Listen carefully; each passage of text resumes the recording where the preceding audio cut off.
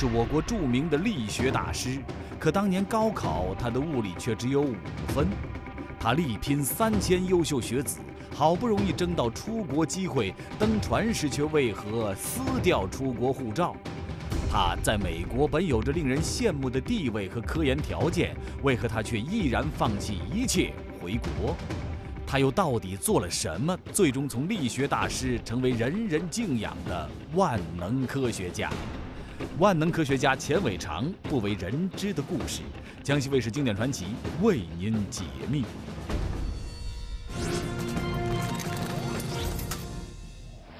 大家好，欢迎收看江西卫视经典传奇，我是幻之。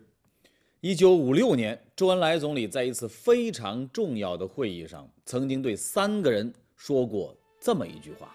他说：“如果说新中国的科学家加起来有一两，那么你们三个就占了三千。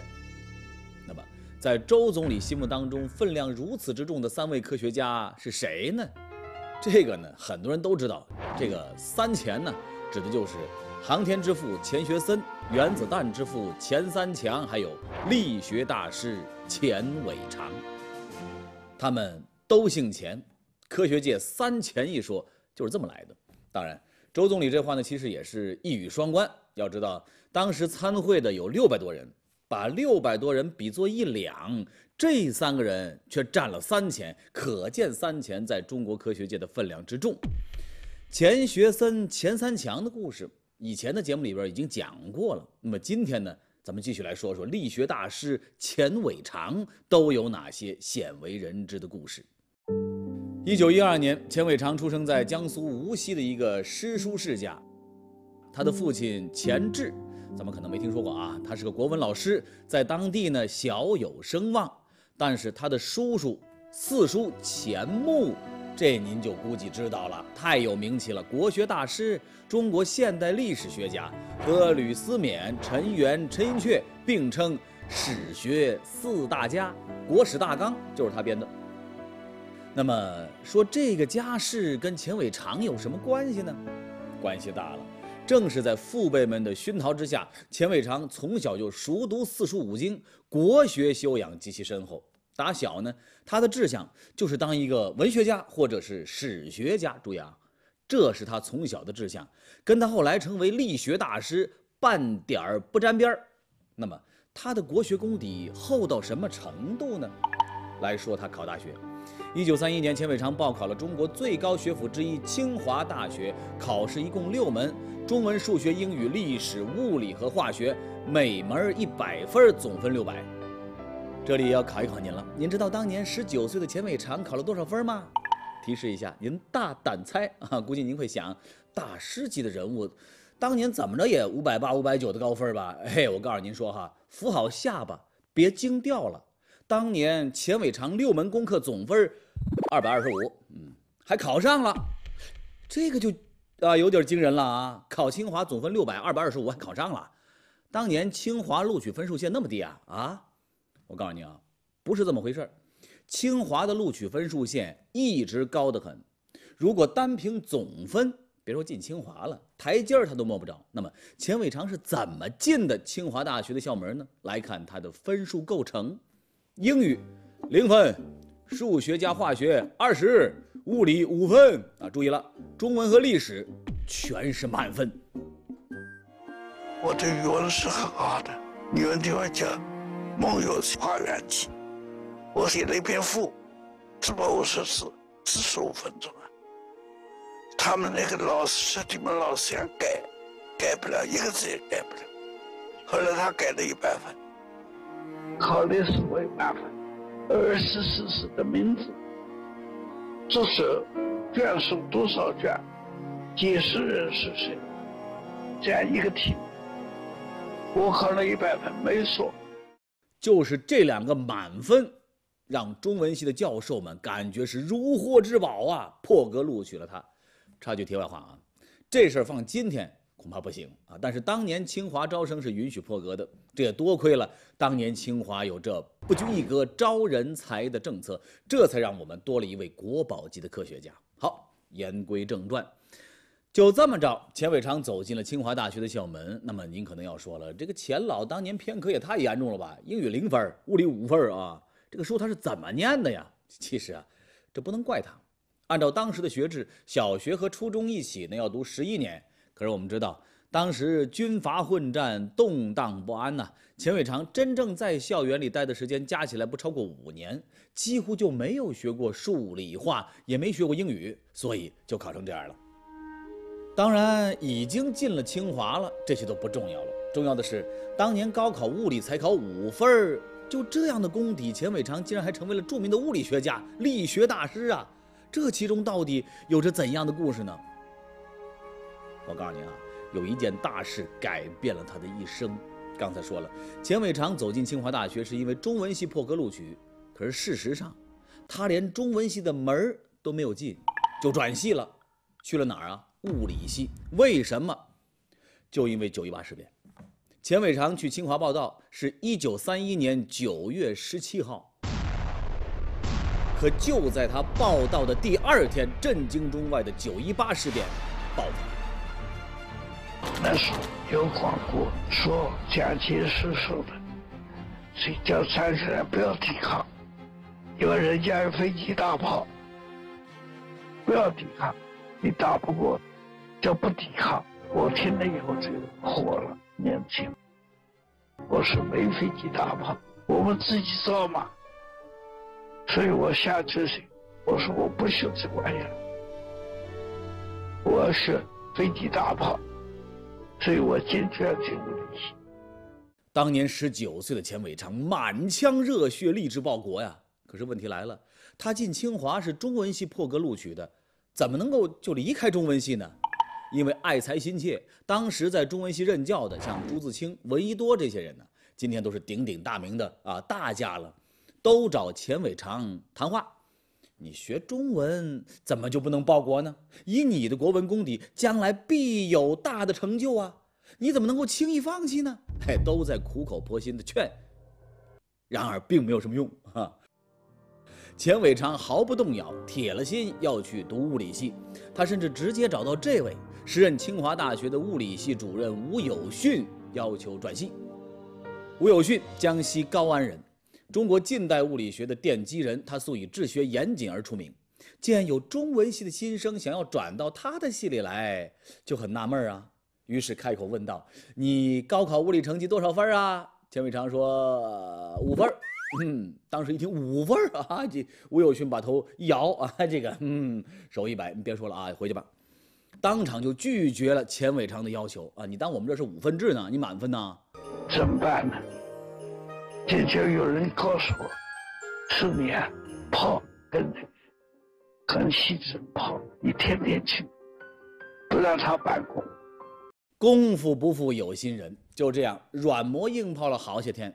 看到钱伟长意志如此坚定，吴有训呐，最后居然还是松口了。不过他对钱伟长提出了要求：进物理系可以，但是你得保证一年之后。普通化学、普通物理和高等数学这三门课必须拿到七十分以上，否则退回中文系，再不得回来。其实当年要求转读物理系的学生不止钱伟长一个，总共有五个。吴有训呢，把他们定为试读生，每个人都必须立下这样的军令状。而这个军令状在其他人看来，不过是吴有训故意出的难题。为什么呢？你想啊，钱伟长高考啊。数理化加起来才二十五，尤其物理才五分而一年之内要求三门都必须在七十分以上，开什么玩笑？可能吗？用现在的话来说，这是不可能完成的任务。那么钱伟长立下军令状了吗？他签了吗？我告诉你说，当吴有训提出要求的时候，钱伟长当即满口答应，不仅答应了，而且一年之后的期末考试他还做到了，真的每门功课都拿到了七十分。由此，他成为物理系五名试读生当中唯一一个能留下来的正式生。那么，他怎么做到的呀？下节说。仅仅一年，他的数理化功课实现飞跃。他如何做到这些几乎不可能的事？出国留学，临登船时他却毅然撕掉了护照，究竟是因为什么？在留学仅仅入校五十天以后，一篇怎样的论文让钱伟长迅速跻身世界一流物理学家的行列呢？经典传奇正在为您解密。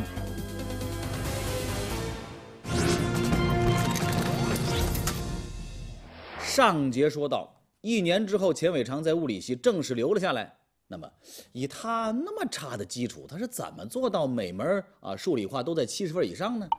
其实这里边没什么诀窍。我们说念书啊，怎么样才能够念好书拿高分？无非是两点：一是态度啊，你自己想不想学？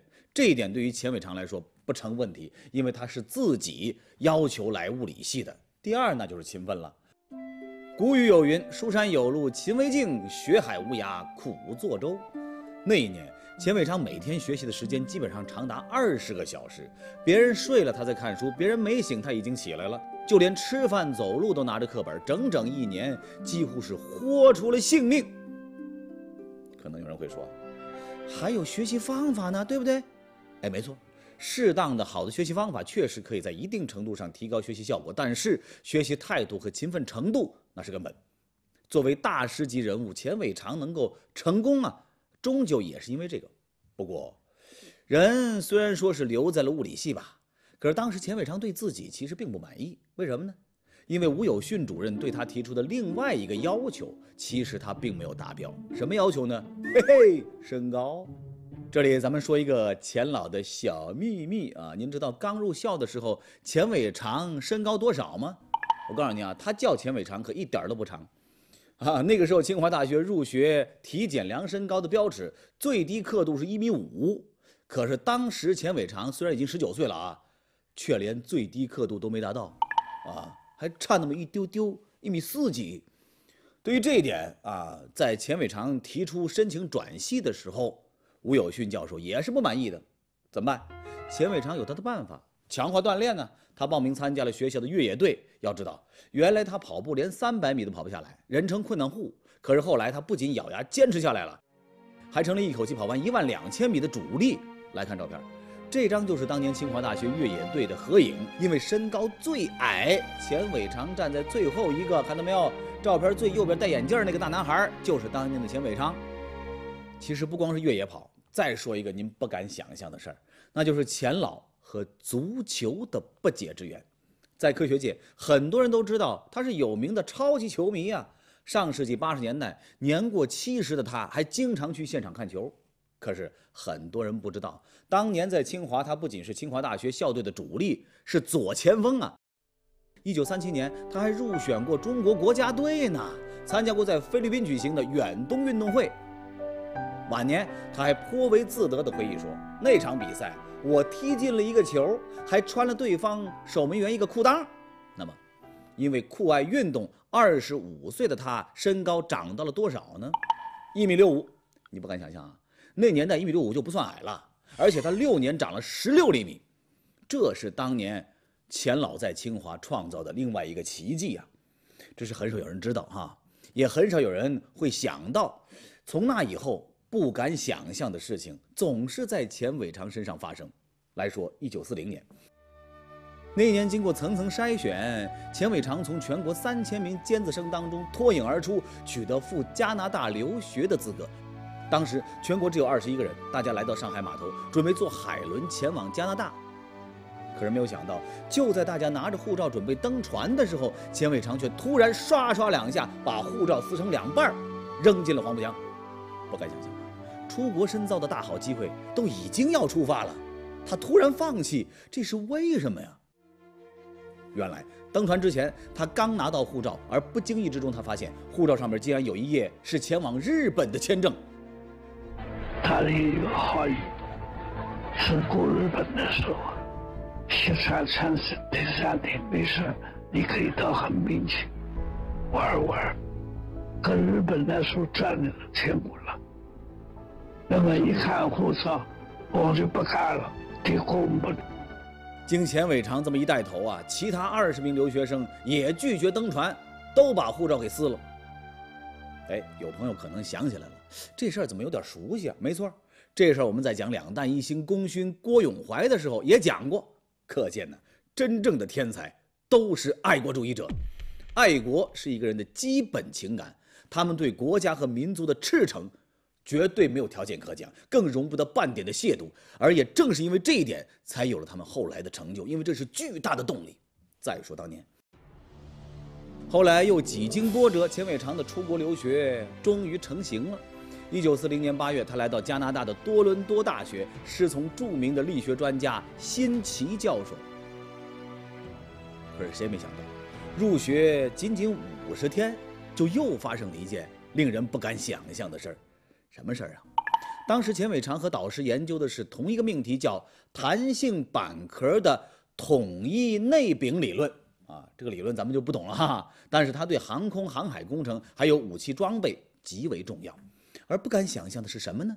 入学才五十天，导师竟然和学生钱伟长联合署名发表论文了。尤其论文里提出的方程式，因为是钱伟长提出来的，也就被命名为钱伟长方程。这个就太牛了，盖了帽顶了天儿了。那个时候钱伟长才二十八岁，可您不敢想象，还有更牛的呢。这位是著名的空气动力学家冯·卡门。他在六十岁大寿的时候，专门编辑出版了一本论文集，二十四篇他认为最有价值的动力论文，作者都是飞升世界的学术大家，包括爱因斯坦在内。而钱伟长居然也位列其中，这是唯一的一个青年（括号学生啊）。而因为冯卡门教授的赏识和推荐，钱伟长不仅迅速跻身世界一流科学家行列，还进入了美国喷射推进研究所担任总工程师。他是军工嘛，就是搞导弹的，所以我搞导弹很快。我是导弹一年把德国人的两种导弹都做出来一样的，都是打一百公。美国喷射推进研究所是美国太空探索和火箭发射研究的先驱机构。这个机构总工程师的位置，你开玩笑，那一般人做了啊？但是钱伟长就做到了，不光做到了，还做到了两个第一。他是这个机构第一位华人总工程师，也是最年轻的总工程师。按说呀，这样的专业地位，这样的科研条件。那是多少科学家求之不得的呀！谁能料想，正在此时，钱伟长又做出了一件让人不敢想象的事情。就在他学术研究达到巅峰的时候，他突然向美国方面提出了辞职。为什么？回国呀，报效祖国。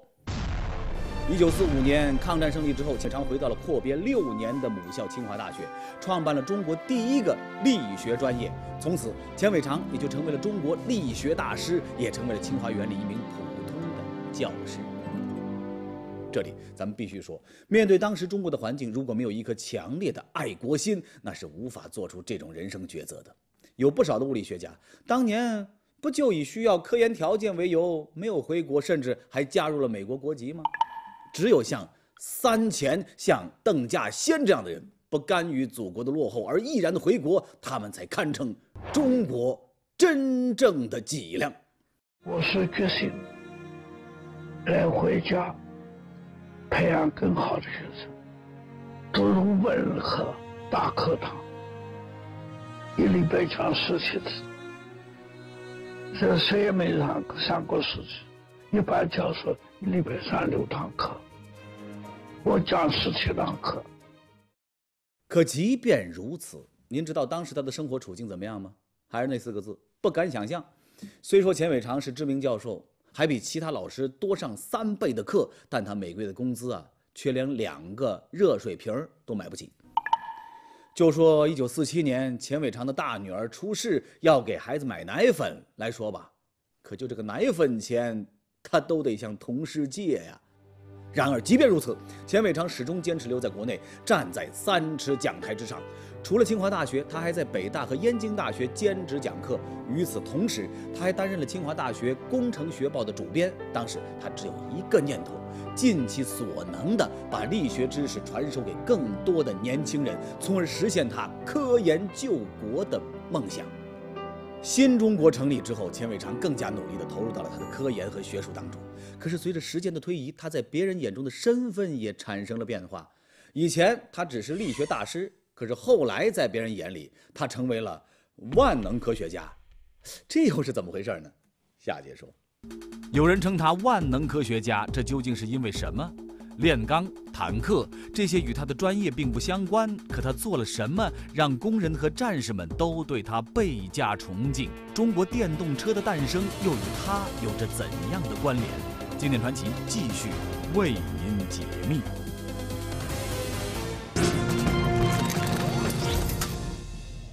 上节说到，钱伟长回国之后，在清华创办了中国第一个力学专业。新中国成立之后，他先后担任了清华大学的教务长和副校长，和钱学森一道共同创办了我国第一个力学研究所，为新中国的两弹一星和航空事业的发展奠定了坚实的基础。可是到了上世纪七十年代，身为物理学家和力学专家的钱伟长，被一些人开始称为万能科学家了。这是怎么回事呢？咱们一件一件的说。先说第一件，研究炼钢。众所周知。新中国成立后，当时国家重点发展的是重工业，重工业的基石是什么呢？是钢铁。可是当时中国钢铁的年产量不到十六万吨，只占当时世界年产量的千分之一。为什么会这样呢？生产效率太低。而这就要说到钱伟长这个万能科学家了。一九六九年十月，钱伟长来到首都特种钢厂。作为科学家，钱伟长非常注重实践。他来到钢厂的，第一件事情就是下车间。跟炉前工聊了起来，什么是炉前工？就是钢厂里边在锅炉前边用一根长长的钢钎往锅炉里边啊上料捅火的工人。注意了，聊天当中炉前工提到，他们用的那根上料同火的钢钎呢太重了，一根就有五十多公斤，举起来太吃力了，这严重影响了工作效率。那根棒棒是五十二公斤，晓得吗？一般人拿不起来，我真拿不起来。那怎么样才能提高工作效率呢？钱伟长就开始琢磨开了。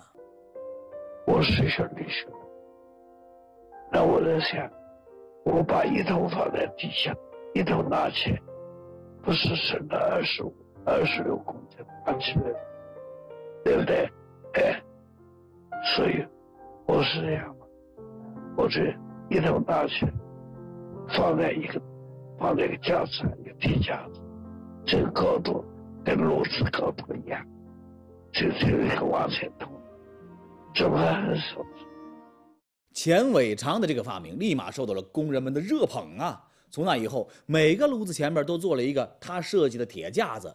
这不光是省时省力的问题啊，最重要的是工作效率大幅提高，进而钢铁产量也就大大增加了。再说第二个，研究坦克。一九七零年，钱伟长回到了清华大学。就在这一年，中国边境燃起了战火。交战当中，对方的坦克对我军的威胁极大。没办法，我们的坦克技术落后啊！听到这个消息，钱伟长心思动了起来。这个坦克后来成立了，成立我一看，我说这个坦克很笨啊！哎，我说这个设计坦克很笨，你们年头大。打不坏的，你要让他过去的时候真生命的，证明他打一块，这一块打中，这一直打到里头去。他很不这个方法，我一看就想。钱伟长的建议很快就反映到了我军的高层那里。没过多久，从前线运回来的两辆被击中的坦克，果然就跟钱伟长所说的那样，都是从侧面击中的。从此。大家又把钱伟长当成了研究坦克的专家，不少关于坦克研制的问题都来请教他。而就在这种情况之下，钱伟长又变成了电瓶专家，这怎么回事啊？我们的坦克只能走走几十公里顶多了，再远走不了了。我们坦克的电瓶啊，用铅酸电瓶，四个电酸电瓶，这个。坦克启动时候需要电力很大，要四个电瓶，而且四个电瓶只能启动十五次，这个电力不够了，所以这个坦克打打停停是件大事。技术人员就把这个问题反映给了钱老，可是钱老懂吗？说实话，对电瓶怎么回事儿，钱老此前是从来没有研究过。但是他毫不犹豫，立刻着手坦克电瓶的研究。当时钱老多大年纪呢？五十九啊，现在就不能说叫钱老了，那个年代可以称之为钱老。有人就劝他：“你都快退休了，又不是你的专业领域，你还折腾啊这些东西干什么呢？”可您猜怎么着？接下来的事儿，咱们还是不敢想象。整整三年，钱老潜心于坦克电瓶的研究工作。三年里，他带着一个十人小组，从国外找资料，边翻译边学习。他们一共翻译了三百多万字的资料，阅读了近二十年的有关学术专著。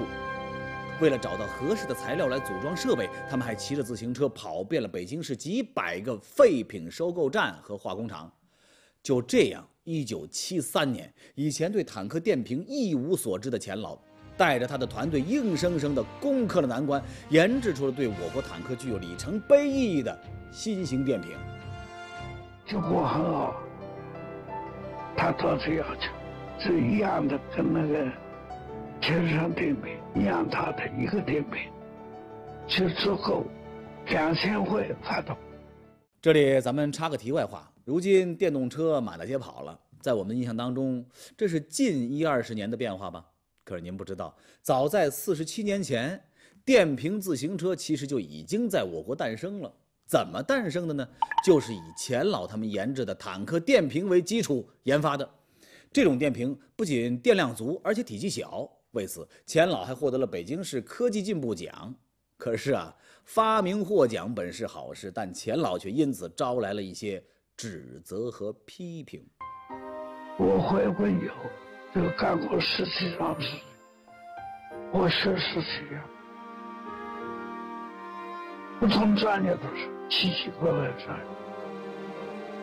我这人是有人叫我万能科学家，来批评我这，笑笑话。但是对于这种批评，钱老说，我无所谓，我觉得国家需要的我就干。而正是在这种理念支持之下，钱伟昌二十六岁学力学，四十四岁学俄语，五十九岁学电池知识，他实现了一个万能科学家的真正跨越。二零一一年，在央视评选的感动中国年度人物当中，钱伟长先生排在第一位。当年的评语是：从义理到物理，从固体到流体。顺逆交替，委屈不屈，荣辱硕变，老而弥坚，这就是他人生的完美力学。无名无利无悔，有情有义有祖国。遗憾的是，二零一零年七月三十号，也就是颁奖仪式举行的半年前，九十八岁的钱老走完了他的一生。可以说。